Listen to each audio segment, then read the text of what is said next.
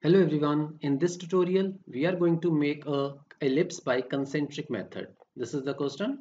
Draw the ellipse with major axis 150 mm and minor axis 80 mm using concentric method. So step 1 we have to draw major axis which is 150 mm.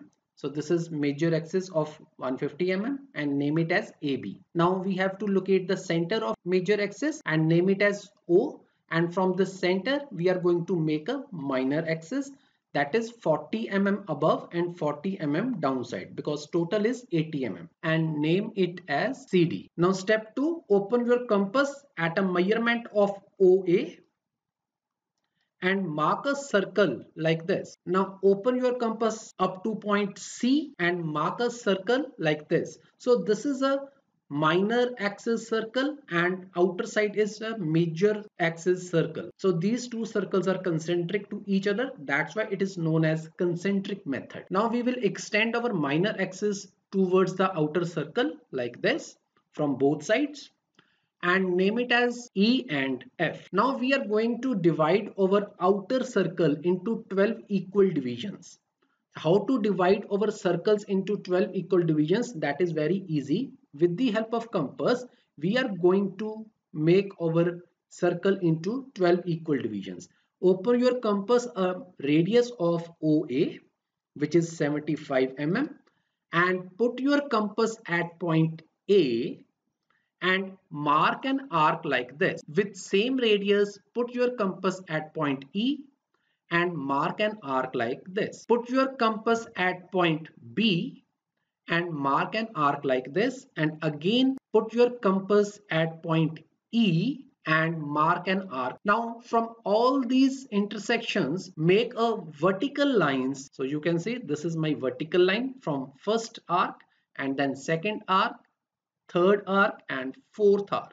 And this way you can divide your circle into 12 equal divisions. In the same way, divide your interior circle of minor axis into 12 equal divisions. Now open your compass with radius OC and put your compass at point C and mark an arc like this.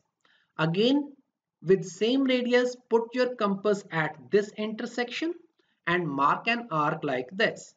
In the same way, take your compass and open your compass again with OC and, and put your compass at point D and mark an arc like this. Again, take your compass with same radius and put your compass at point this one and mark an arc like this. Now take a horizontal lines from all these intersections of arcs. So like this, you can see first my line and then second line, then third line and fourth line. So in this way also you can divide your circle into 12 equal divisions. From the outer circle I will take the downward lines like this, the vertical lines. And from the interior I will take the horizontal lines like this. Okay, now I will extend my horizontal lines towards the vertical lines like this. You can see I will extend up to this line and this is my first intersection point for the ellipse. In the same way, I will extend towards the left side and this is the another point for the intersection for the ellipse. And again, I will take up to this one. So this is the one point and this is left side and this is a another point. In the same way, these two blue lines also extended towards the vertical lines like this towards left side also. And also this line extend up to outer vertical line and this is also these red points of the intersection of vertical and horizontal lines is my ellipse. So I will join these points either freehand or you can also use French curves to make this ellipse. In this way, I will make my ellipse freehand. So students, this is the ellipse by concentric method. I hope you understand this question. If you have any query, you can comment in the comment section. Thanks for watching. Be happy.